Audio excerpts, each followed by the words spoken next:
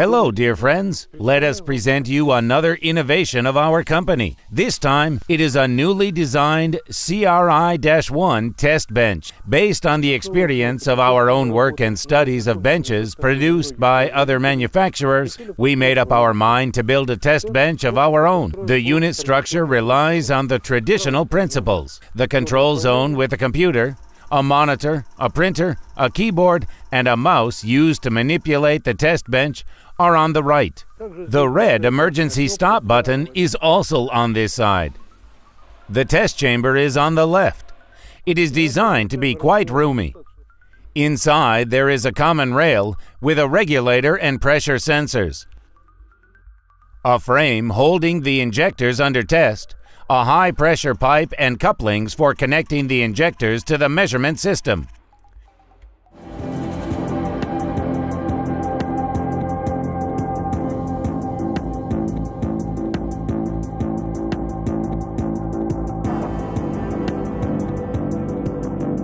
Behind the right door, in the lower part of the test bench, there are some shelves for tools and accessories, and the test bench control block. On the left, there is a fuel tank with a calibration fluid level indicating pipe. On top of it, there is a fluid collector. Here's a fuel filter, and on the left, a cooling radiator. On the door, there's a cable storage pocket.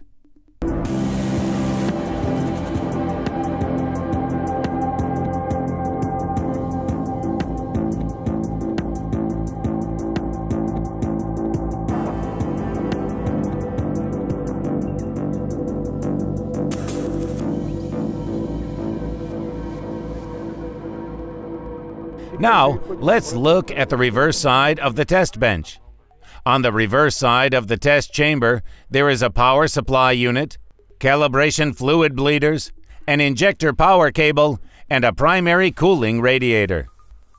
The radiator installed at the calibration fluid drain from the DRV cools the system as the test bench operation mode is on. Below, there is a main radiator in charge of calibration fluid cooling. The measurement system of the test bench is a two-channel FM2 that measures parameters of one injector at a time. As an option, for simultaneous testing of two or four injectors, FM4 or FM8 may be installed. Below, we see the main engine with a capacity of 4 kilowatts. Though it may seem excessive, the capacity ensures uninterrupted and steady low speed operation. This engine drives a CP3 Bosch cargo pump. On the left hand side, above the engine, there is an electric panel. There is a frequency driver of Schneider test bench and the electric circuit components. The main switch is behind it, installed on the bench wall.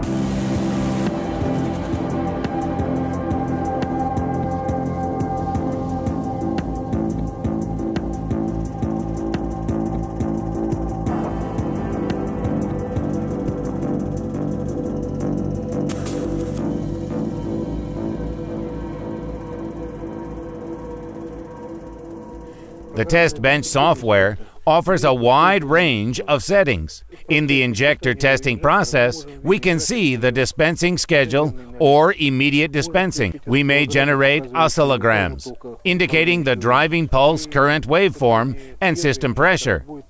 Testing a piezo injector, we may see the control voltage waveform. These are options for advanced users. The test bench library can keep over 2,700 test plans. The test bench library and software are updated using wireless internet connection. The system is updated for free. Now let's test a Denso nozzle. First, we enter the nozzle number and select it from the list. Then we select a previously created nozzle target. Start the testing.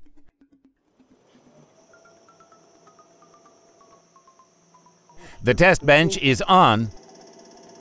Dispensing has started. The control system has a targeting function. A target is an internal test plan of the test bench tied to the individual fuel system configuration. A target is used for precise correction code development. Delphi nozzles are tested and coded in a similar way, but it takes much longer due to a greater number of checkpoints. The measurement mode is on. The dispensing is in process. We may turn on the nozzle controlling system oscillogram mode. It is also possible to create users test plans. Individual signal forms may be developed, proving that diversity of the program settings. In the coding process, in the delivery diagram, we can see the test bench adjusting the nozzle control pulse time to generate the correction code. The test is coming to an end. The test bench requests a permission to assign the codes. We approve. Click on Show on the screen. At the moment, we won't enter the customer data. Here's the coding protocol. Let's print it out. When the test is over, we have a coding protocol made up in a new code.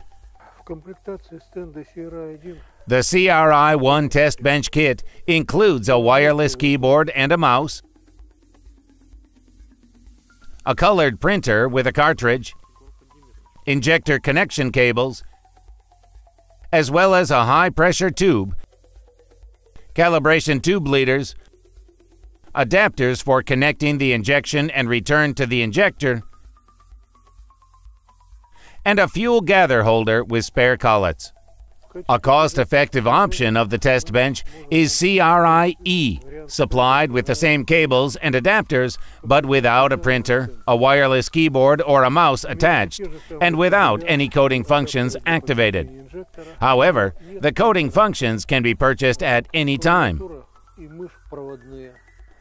For customers, it is important to know that a two-week training course for fuel industry representatives with a due focus on the purchased equipment is included in the cost. To conclude, we have created a quite simple and reliable multi-brand test bench with the efficiency proven with our own experience. We recommend it to our customers.